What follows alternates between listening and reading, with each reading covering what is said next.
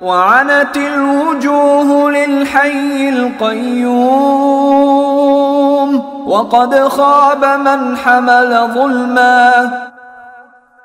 اور سارے کے سارے چہرے حی و قیوم کے آگے جھکے ہوں گے اور جو کوئی ظلم کا بوجھ لاد کر لایا ہوگا نامراد ہوگا۔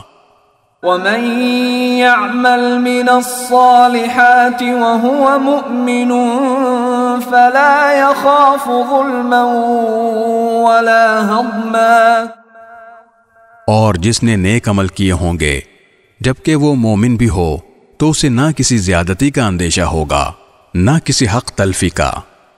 وكذلك أنزلناه قرآنا عربيا وصرفنا فيه من الوعيد.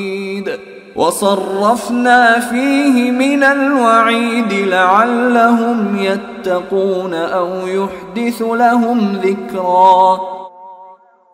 اور ہم نے اسی طرح یہ وہی ایک عربی قرآن کی شکل میں نازل کی ہے اور اس میں تنبیہات کو طرح طرح سے بیان کیا ہے تاکہ لوگ پرہیزگاری اختیار کریں یا یہ قرآن ان میں کچھ سوچ سمجھ پیدا کرے۔ فتعال الله الملك الحق ولا تعجل بالقرآن من قبل أن يقضى إليك وحيه وقل رب زدني علما ایسی ہی اونچی شان ہے اللہ کی جو سلطنت کا حقیقی مالک ہے۔